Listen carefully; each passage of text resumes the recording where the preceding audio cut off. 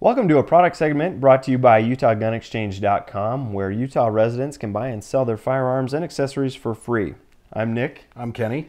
and we want to show you a product that comes straight from Utah. It's called the Gun Box, and their motto: safe storage, quick access, defend responsibly. Um, we want to show you this is a really cool product. It's not the end all of gun safes, is it, Kenny? No, not at all. It's not the two ton safe that you have uh, to keep everything in, obviously. This is an aircraft grade aluminum clamshell design here. Uh, first, right out of the gate, I noticed it's it's nice and it's small. It's compact. It's compact. Right? So size wise, it looks to be 10 inches by 11 inches and maybe maybe three inches tall at its peak. and this thing also weighs about seven pounds. But what else strikes you, Kenny? It doesn't look like a safe. Exactly. It looks right? like a giant heavy router.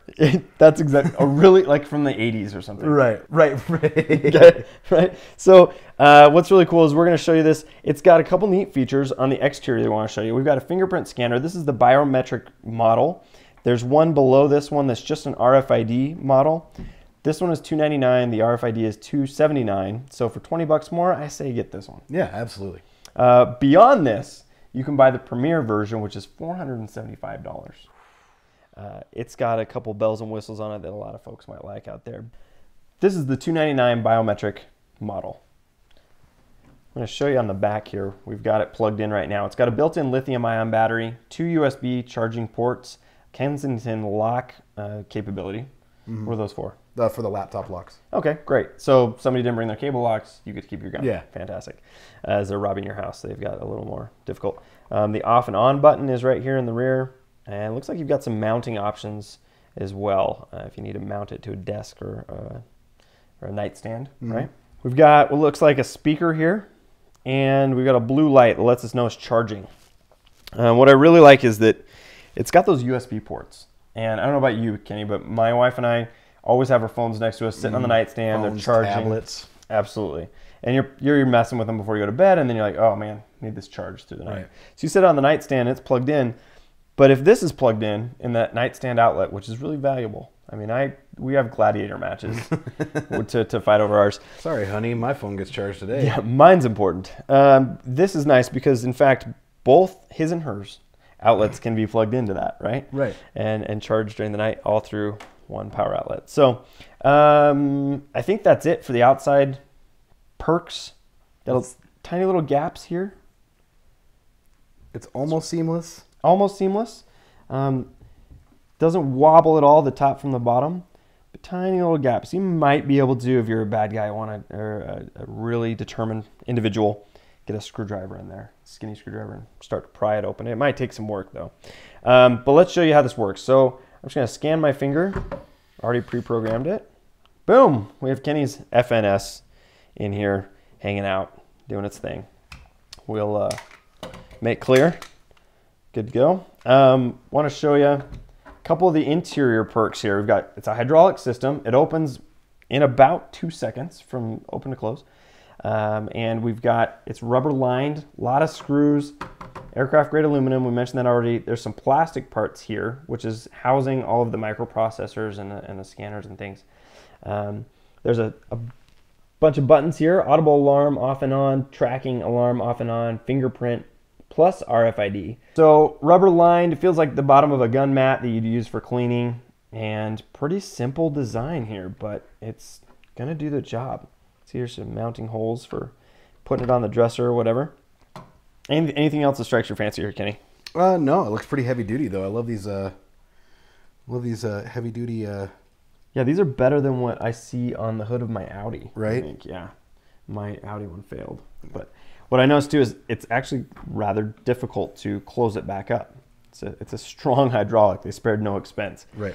all right so we're going to show you how to program this thing really quick you push this button to turn it in learning mode you're going to get this green light on the top close it and then you're going to scan your finger one it blinks to let you know it read it click again and a third time blinks a bunch of green times to let you know it's done i'm going to try my middle finger nope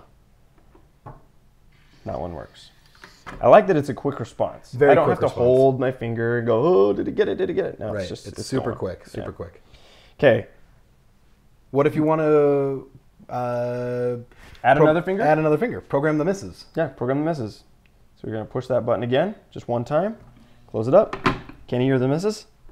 One, two, three. Okay, so now I should be able to open it, It does. and then you should be able to open it. Awesome. Nice. That's really cool. And so if another fingerprint tries to mm. access it, nothing. No bueno. Nothing. All right, so let's say you and the missus are out, but you want to have give the babysitter or your another family member to have temporary access to this device, um, but don't want to program their fingerprint in. What you can do is give them this nifty little RFID bracelet, and the way this works is pretty simple. You're just going to scan this over the top of the shield, opens right up. When you get home, you take the bracelet back from them. You don't let the babysitter go home with it because I'm guessing these aren't very cheap, right? Now this will you can use this bracelet or you can use any other RFID uh, device, correct? Yes, uh, that'll work as long as you program it Right. to the box. And to program it, it's the same stat. It's the same steps. It's the exact same thing. You just push the button one time, close it up, scan the RFID, it blinks. Now it knows Now it this knows. device will open the box. Just like that. Okay. Let's say while you're out and about, you have your suspicions about somebody programming their own fingerprint while they had your temporary access RFID. And so you want to come home and reprogram or, or erase all the fingerprints and the RFIDs. You're going to tap it once to put it in learning mode. It's now green. And in fact, then you hold it down for five seconds. And we'll show you here on the back side, the lights are blinking red three times, and then blue, red and green all blink together. And you hear a little clicking sound. That's coming out of the speaker to let you know this will not close because you have nothing programmed. There's no way for it to lock. So kind of like that. And it's freaking out. Nope. Won't stay shut for me. So I need to push the green button one time, close it. First thing I want to do is program my bracelet. Okay, now it's green. Should have been worked, should have worked, and it does. Next thing I want to do, reprogram fingerprints. Tap the button, close it up, scan my fingerprint three times.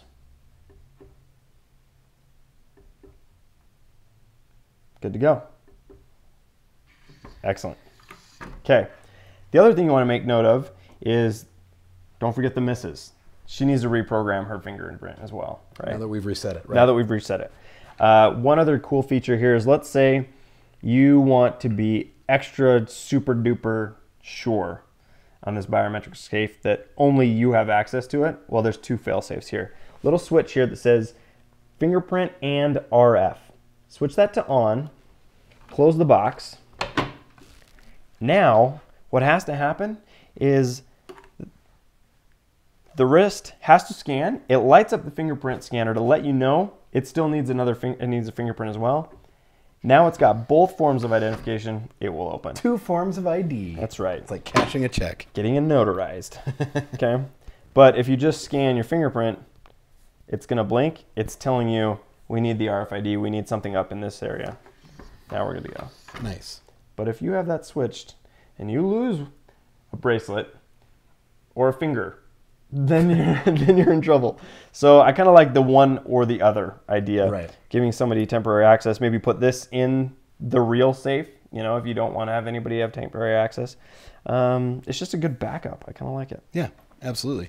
So this version also has uh, audible alarm and tracking systems. Uh, well, it's got the buttons for it, but it's not the Premiere version, so it doesn't have any tracking. But the Premiere does have GPS, uh, text message alerting system. It's a subscription-based system though, so you're gonna have to pay for it. I don't know if it's on an annual or a monthly basis to get those text message alerts if it's moved. This on the description on the website, it says it's got an audible alarm, but the only alarm we've been able to get this to announce is when there's no fingerprints programmed and it won't shut. The lock will not engage. So I think that's it. Any other thoughts on this box, Kenny? I mean, it's this isn't going to keep bad guys from getting to my guns. No, no. I mean, it's it's going to be definitely a deterrent. They're not going to know what to look for, uh, so that's a benefit. Um, I think it's more designed uh, in terms of who it's designed for. It's designed to, to keep uh, little hands out of it. It's designed to keep little fingers out of trigger guards. This can absolutely be broken open. 100%. Not a problem. Yeah. But it's going to take time. Someone's going to hear it. And if somebody wants to walk off with your gun, whether it's in a box or not, if it's under your pillow, they're still walking off with your gun. Right. Right? They have enough time, they're going to get into this. The issue is we want to be more responsible as gun owners and to reduce the number of accidental shootings. That's that's Yeah. really what it comes down to. But at the same time, not relinquish our ability to access our firearms in our time of need. Mm-hmm. So props to the the gun box guys. I think they've done a great job. It's stylish, looks good. As far as we can tell, it works fantastic, and I think they've uh, they've produced a great product here. I'll be picking one up myself. Thanks so much for tuning in. This has been another product segment by UtahGunExchange.com.